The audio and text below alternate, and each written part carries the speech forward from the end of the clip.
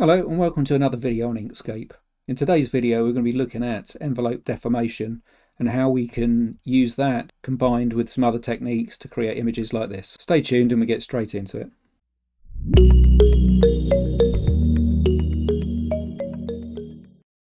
So to get started I'm just going to get rid of the page border. If we come up to the top here we can use a little shortcut button to get to our um, document properties. So we click on this, come down, unclick the show page border.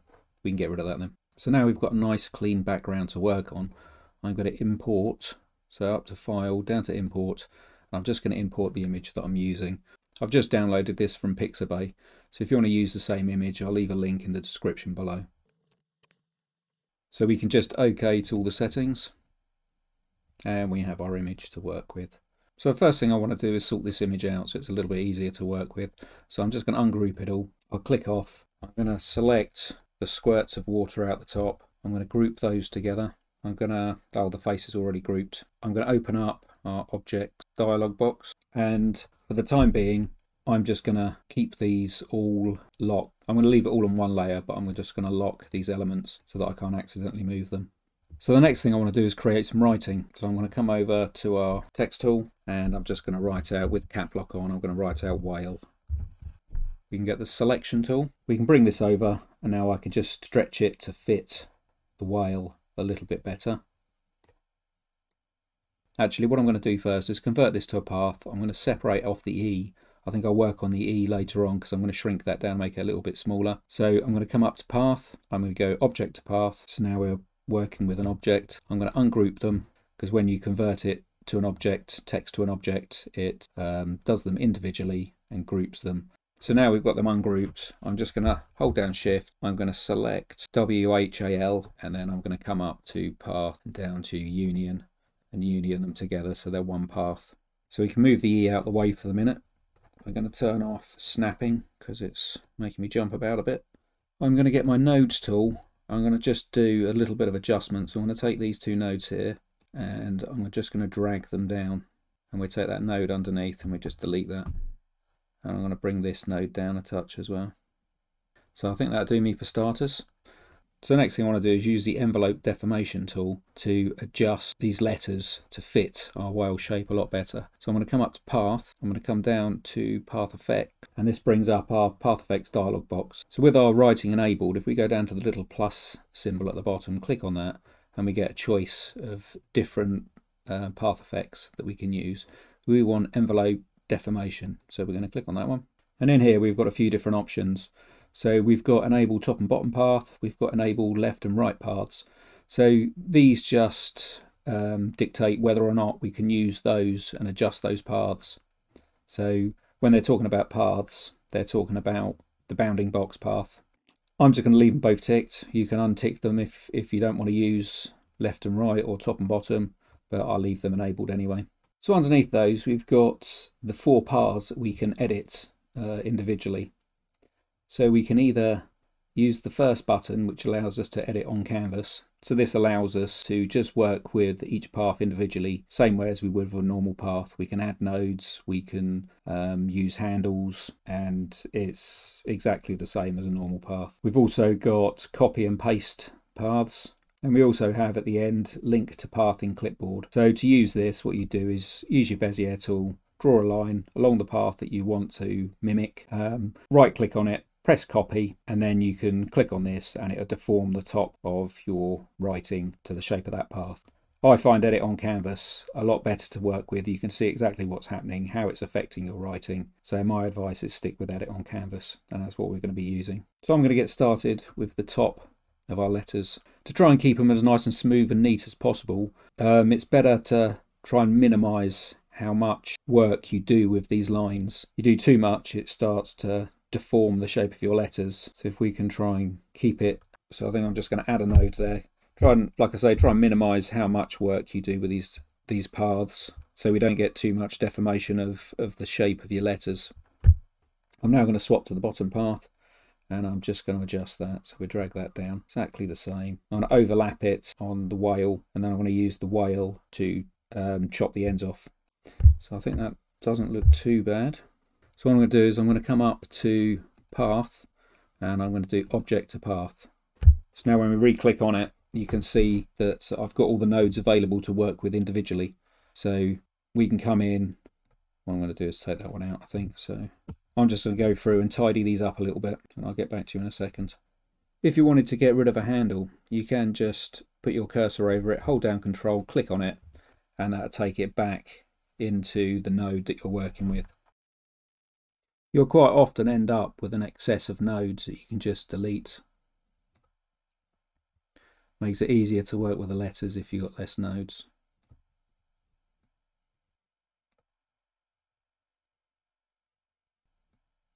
You can also drag boxes over multiple nodes so that you can move them together.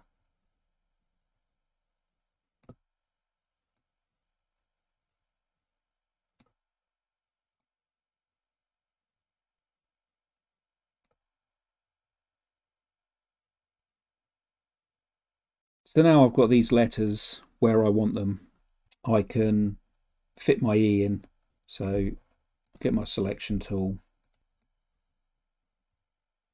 I might rotate it slightly so it fits in better.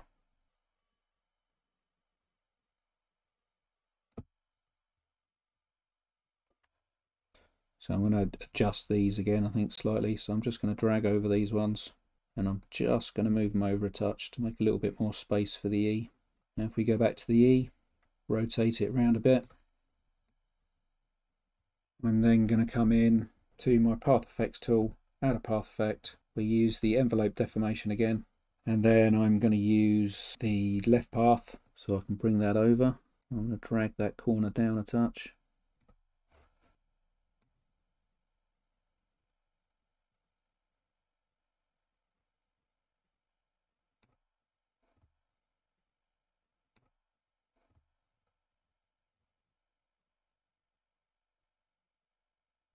I don't actually think that looks too bad, so I'm going to stick with that.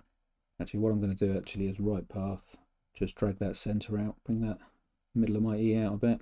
So now I'm just going to go in and adjust some of these, these individual nodes. So I'm going to come up, we're going to get hold of it, we're going to come up to path, we're going to go object to path. So when I come back in, I've got my individual nodes, and then we can just do some fine adjustment. So I'll zoom in a bit so I can see what I'm doing.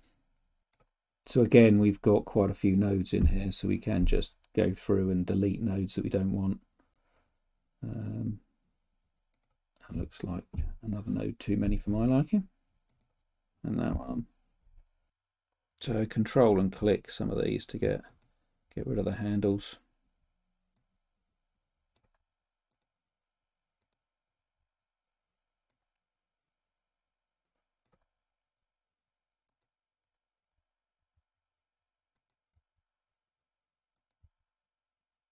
So the next thing I want to do is I want to add just a block over the top of this just to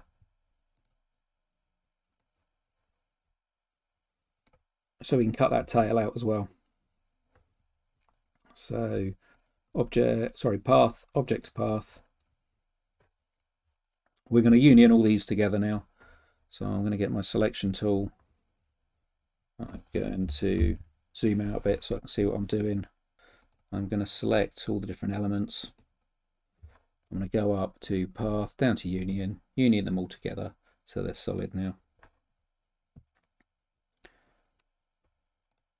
So I'm going to come up to objects.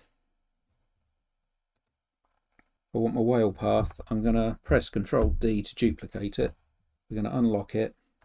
I'm then going to hold down Shift, select our writing, and then I'm just going to come up to path and down to intersection. Now we can see our writings looking a lot better, but we do need to do a little bit of work just to clean up some of these elements. So I'm just going to sit here, adjust some of these bits. I say if we do drag it off the side again, we can always uh, reduplicate the whale shape and trim it up again. So I'm just going to spend a little bit of time evening up some of these gaps with my nodes tool.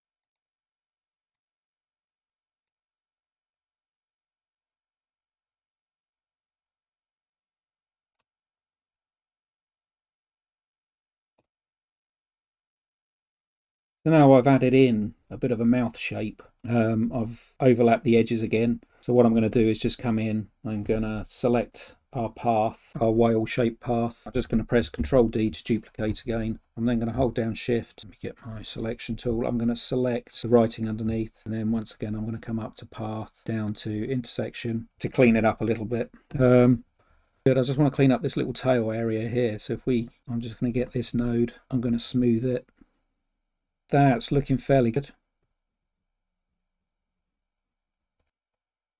I think that's pretty good. One last thing that I want to do is I want to cut an eyeball into here. So all I'm going to do for that is I'm going to grab the circle tool, the ellipse tool, and I hold down uh, control, to constrain it to a circle. I can't actually see what I'm doing. So we change it to red we can see what it's doing.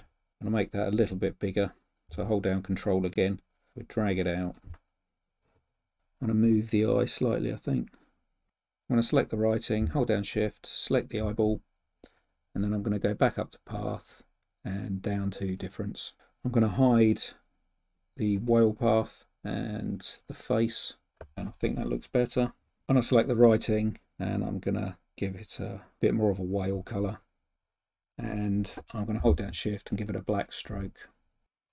Just going to get the ellipse tool I'm going to hold down shift and control and drag out an eyeball. I'm going to turn this black. I'm going to hold down control to constrain proportions. I'm going to shift it slightly and I think I quite like that. So zoom back out a little bit. So that's looking fairly respectable. I'm going to select the splashes. I'm going to hold down shift. I'm going to give those a stroke. That looks better might actually just move that up a touch. I think I'm going to give that a deeper blue. If we come into the fill and stroke, get the fill, what I'm going to do is I'm going to give it a radial gradient. I'm going to get my gradients tool just so we can give it a little bit of a highlight. And I'm just going to lighten that slightly. So I think that looks quite nice, but what I'm going to do is just add a bit of a background. So we just add a light blue background. So I'm just going to grab my rectangle tool. So I want the opacity to be right up on the outside stop and we can adjust the stop colors and bring the color up. Something like that and then the center stop I'm just gonna brighten up. I want it to be a nice sea blue. One thing I'm not overly keen on is the corners here are a little bit too sharp for my liking. With the mouth it's a little bit heavy handed so I'm going to just smooth these off a little bit. So I'm going to come up get my nodes tool we click on here. I'm going to turn that to a smooth node. I'm going to do the same with this one. This node, I'm just going to move down a touch. Too many nodes, so I'll delete one. I'm going to drag this one down. Just going to make that a smooth node. Also that one. Change this so I can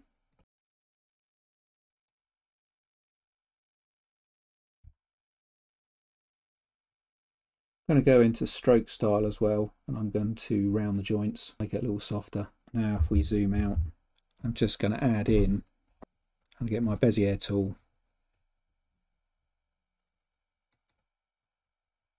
And I'm just going to add in a little line here. So we're going to change change the size of that to 75 actually I'll make it 1 just going to zoom in so I can see what I'm doing. I want rounded caps. I'm going to get my nodes tool and I'm just going to curve that. So let's zoom out again and see what we think. So I'm quite happy with that. I'll get the selection tool. We come down. And there we have our whale writing. Thanks for watching and I'll see you in the next video.